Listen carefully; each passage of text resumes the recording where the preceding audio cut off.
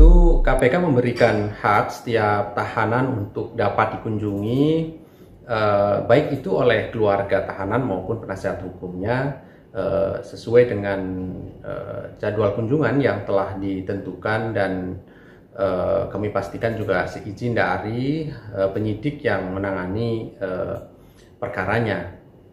Uh, dalam masa pandemi uh, COVID-19 ini memang kemudian ada beberapa penyesuaian kunjungan tahanan di rutan KPK di antaranya adalah dengan dilakukan secara daring. Namun demikian tentu tetap mengacu pada prosedur dan tata cara sebagaimana ketentuan yang berlaku.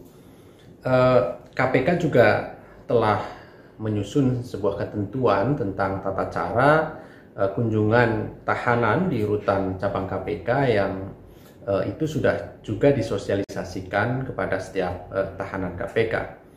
Uh, namun dalam peristiwa ini tentu KPK sangat menyayangkan bahwa ada tahanan yang kemudian diduga bertemu secara daring dengan pihak-pihak lain uh, yang tidak sebagaimana batasan-batasan yang ada sesuai dengan ketentuan di dalam rutan KPK.